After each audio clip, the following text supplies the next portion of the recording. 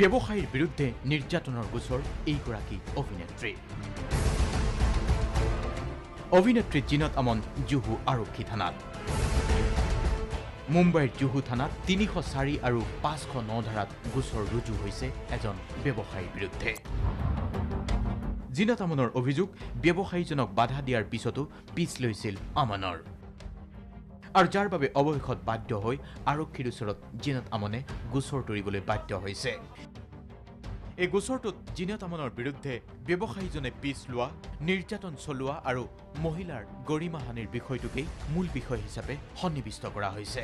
উল্লেখযোগ্য যে যিগৰাকী ব্যৱসায়ীৰ বিৰুদ্ধে অভিযোগ অনা হৈছে তেওঁৰ সৈতে পূৰ্বে অভিনেত্ৰীগৰাকীৰ বাৰ্তালাপ আছিল যদিও ব্যৱসায়ীজনৰ আচাৰ আচৰণত অতিষ্ঠ হৈ এনেদৰে গোচৰ তৰিছে অভিনেত্ৰী জিনত আমনে news desk report D Y three six five.